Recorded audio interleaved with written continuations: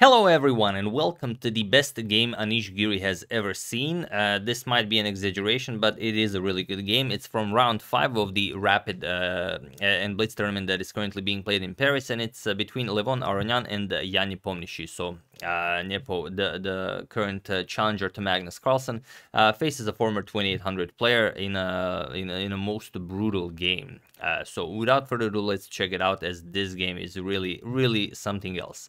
So Nepo with the white pieces opens with c4. We have knight to f6 by Levon, knight to f3, and now e6. We have g3, uh, d5 striking in the center, and bishop to g2. So going for the Neo-Catalan setup, uh, we have d captures on c4, uh, and now white reclaims the pawn. We have queen captures on a4 with check, uh, knight blocks, uh, sorry, not knight, bishop blocks, and now attacks the queen, and queen captures on c4. Uh, we have c5 uh, uh, going for that uh, central control right away and the knight to e5 now. And this makes it a bit uh, problematic for black to develop. If you play some like knight to c6, we can start trading here right away. Captures, captures, captures, captures, and then double black spawns here. So could be could be good for white. You know, once you develop your pieces, get the rook to c1, you're going to have a lot of pressure here um, uh, towards these pawns. So after knight to e5, we have queen to c8 by Levon, uh, and now comes b3. And b3 is already um, a rare move. Queen to d3 is what's usually played here, uh, but b3, as you'll see, has its merits. So here, knight to c6, attacking the knight here, and now Nepo eliminates uh, one of uh, uh, one of Levon's bishops. So knight captures on d7, queen captures on d7, and now bishop to b2. Uh, developing the bishop to this long diagonal, we have bishop to e7, and now uh, Nepo castles. We have rook to c8, so nicely continuing development, and now rook to d1. Uh, white wants to uh, continue developing his queen side, but for the moment, if the knight moves, the d2 pawn hangs, so you have to defend it first. So first, rook to d1, and now there is one game where knight to d4 was played, but here Levon plays castles, and it is now, as of move 12, that we have a completely new game. So let's see how the game continues. We have knight to c3. Nepo, of course, just continues development. And now a6. Uh, if Levon uh, wasn't playing in his usual style, he might even play something like queen to d4 and try to go for some sort of a queen trade. Uh, and then, for example, if rook 8 to c1, captures, captures. And while, while this maybe is playable, it's definitely not the kind of chess uh, Levon plays. So he just keeps the tension on the board. He plays a6. He wants to play b5, continue expanding on the queen side. Uh, kick away Nepo's queen, and then uh, good things might happen. So here, rook 8 to c1, white finishes development, and now b5. So the queen is under attack, queen to f4, and now we have h6. Uh, we have d3, and now comes rook f to d8. And with this move, black kind of also uh, finishes his development, and now queen goes back to d2. So queen to d2, you want to advance this pawn and you need uh, additional protection for your for your pawn here. So here uh, we have queen to a7 and now comes e3 and here queen to b6 by Levon. So a lot of a lot of maneuvering with the queen. Uh, you want to get your queen away from the d file, so queen to e2, and now comes knight to b4. And okay, the knight is uh, quite annoying here. It's attacking the d3 pawn, it's attacking the a2 pawn, uh, but what it's really doing is uh, remaneuvering itself to d5. So here, uh, Nepo kicks it away. He plays a3, and now knight b to d5. Uh, we have trades, knight captures, captures, and now d4. And what do you play here? Uh, well, it's a it's a really uh, uh, interesting position because black might even consider playing a move like c4 here. This did not happen in the game. In the game, uh, Levon just uh, shifted the knight back to f6, but c4 is very very interesting. Problem is, even though white is attacking this pawn three times, you can't really capture because if if captures, captures, and captures, what's defending the bishop here? Yes, the queen, but uh, if rook captures and c4, you you're you know uh, in a in a world of pain. For example, captures captures, you lost a piece and you you lose the game. So instead, after d4, Levon just goes back, knight to f6, and now comes d captures on c5. We have rook captures on d1, rook captures on d1, and the bishop captures on c5. And now the position is. Um, uh, well, very interesting, and uh, White basically has to make a decision whether to capture this knight or not. So on the plus side, you are ruining his king side. Uh, on the downside, you are giving away an incredible piece here. This bishop is just a monster. So uh, maybe if you can uh, do it uh, some other way, maybe you don't want to give it away, but uh, Nepo doesn't find any any better moves. There is, uh, for example, the very interesting queen to c2, uh, because the rook here is undefended, and you are now threatening b4 uh, to, well, attack the bishop, so the bishop will not be able to move. Uh, but if queen to b8, rook to c1, again, now both queen and the rook will be attacking the c8 square. We can play this rook to c7 move, and black kind of solves uh, all of his problems. If b4 or bishop to d6, and then uh, you, you are out of the woods. So instead, after bishop captures on c5, we have bishop captures on f6. Nepo uh, eliminates this knight. We have g captures, and now comes queen to h5, going after this h6 pawn. And uh, even though it seems like you can defend it with your king, you, you really can't. If king here, then queen captures on f7. And if king to g7, it's not much better. Rook d7 just wins the game. It doesn't seem like it wins the game, but after rook to f8, you have this queen to g4 check, king to h7, and now b4. This b4 incredible move. Um, just uh, you know throughout the entire game uh, there there's no square for this bishop you can't go here you can't go here you can go here but it's not going to do you uh, much good because queen captures on e6 now the queen doesn't cover e6 and also this spin so you can't capture uh, capture here uh, sorry about that. Uh, somehow I reversed uh, reverse this. Uh, sorry about that. Uh, few moves. Oh, all right.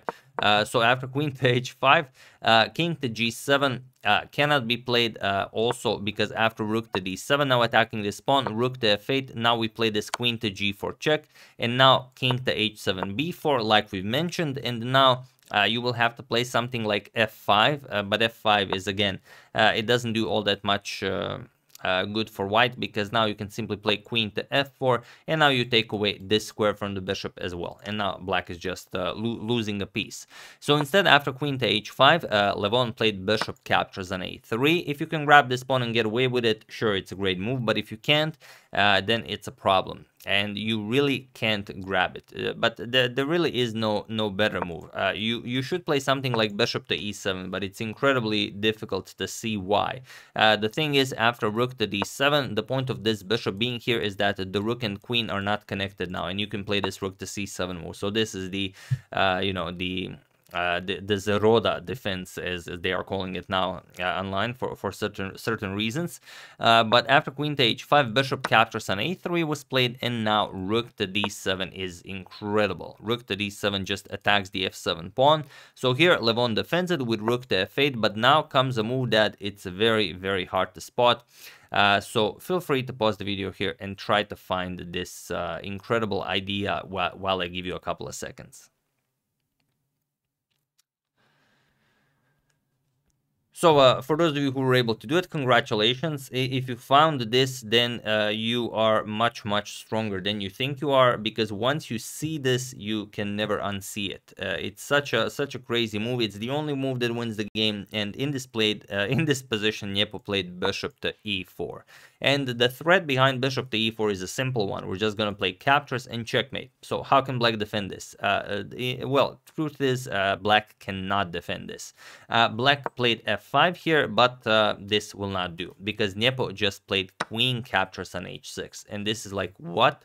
What if what if the bishop is captured? How can you uh, how can you defend this? Well, uh, capturing the bishop is an easy way out for white. I will show you a sturdier defense that also doesn't work, but it it kind of improves uh, black's position a lot. For example, you could play queen to c5, ignore this bishop, and now we get this queen g5 check, king to h8, queen to f6 check, king to g8, and now bishop back to f3. With the idea of bishop h5 just going after this f7 pawn, uh, there's no way for black to defend it, so black would have to play f5 to keep an eye on the h5 square. We're just gonna eliminate this pawn, and now we're simply up material and black's position is, is just terrible. Uh, so here we might see bishop to b2 to try and avoid any checkmate threats. The bishop can now go back here, but rook to c7 now. Attacks the queen, and after, let's say, queen f5, we can simply trade here, and that's it. We're we're simply uh, in, in a, we're up a pawn, but our position is completely winning here. Uh, there's not much black can do here. So this is with absolute perfect play uh, how the game might... Um, uh, you know, uh, evolve. But in the game, after queen captures on f6, uh, Levon captured the bishop, and now comes the move that Nepo had to see when he played bishop to e4. And this is one of those moves that, like I said, once you see it, you can never unsee it. And after I show it to you now, uh, you will see it in all of your games, and you will achieve great victories for the rest of your life. Uh, here, uh, Nepo played rook to d5. And now, now that you see it, of course, it all makes sense. The pawn cannot capture because the queen is hanging, and if the pawn doesn't capture, this is checkmate, and that's it. There's simply no way, no way to play this. But seeing this from the position where bishop to e4 was played, and I'm pretty sure that Nepo saw it much, much uh, before that, even before bishop to e4 was on the board.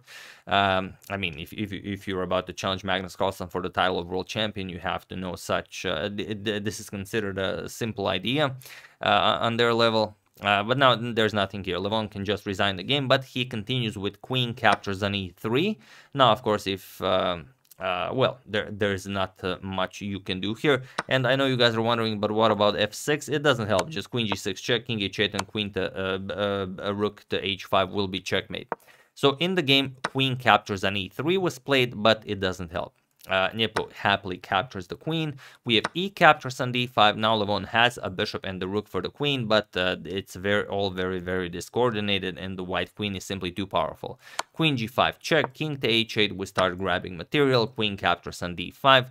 We have f5 defending this pawn, but now the black king is completely out in the open. Uh, here, queen to d4 with check with king to g8 and now even b4. So twice this b4 move causes a lot of problems for black. Now there's nothing you can do uh, to uh, activate this piece. Bishop to c1 is played, but again, it doesn't help. Queen to b6. Now you're going to eliminate all of these pawns, and then you're going to advance this pawn to a new queen. So rook to f7, and now queen captures an a6. We have e3 now, trying to do some damage, uh, but just queen to c8 check, and it was in this position on move 38 that uh, Levon Aronian resigned the game, as there is nothing more to be done here. Once the king moves, we're going to win the bishop here, and that's it. Let's say king g7, queen captures here, and there is there is no playing this. It's um, uh, of course uh, you know it, it, would be pointless to continue this. So like I said, incredible, incredible game, and uh, I would be very interested uh, uh, in hearing from Nepo at what point did he find bishop to e4. So it could have been uh, maybe even in the position where he was deciding on this, um, it, it's really very hard to say. Maybe even at the d captures on c5, uh, because uh, from, from this point on, maybe even uh, when he played d4, because it's pretty much forced. Knight f6, captures, captures, captures, captures, and now this bishop captures on f6, g captures, and now queen to h5 with the preparation of bishop to e4. So if you don't see bishop to e7, the defense that we discussed, uh, this is just crushing. So incredible stuff, and uh, Magnus will have his uh, hands full when when November finally comes. But we'll we'll see how it goes. Uh, as usual, do let me know uh, what are your predictions for the match in November in the uh, comment section below. So uh, that's the game. Hope you guys enjoyed it. Levon definitely hasn't, but that's what happens when you face such a such a fierce player like Jan Nepomniachtchi and uh, do join us in the tournament. Today it starts at 8 p.m central european time. All the info will be in the description below uh, and we're gonna have a lot of time. I'm gonna be streaming it to showcase all of your great games that you guys will be playing. It will be it will last for some two hours and hope we have a, a, a, a good time so once again, hope you enjoyed it. Uh, I would like to thank uh, Purna Sujay Cherukuri, uh, Abhinav Vishak Iyappan, Atul Dingra, Michael Castano, and David Kimura for your contribution to my channel. Thank you a lot. I really appreciate it. As usual, you can check two of my previous videos here. Thank you all for watching, and I will see you soon, continuing the coverage of the Morphy saga, checking up on your wonderful suggestions, and whatever else happens in the chess world. So thank you all. I will see you soon, and have an excellent rest of your day.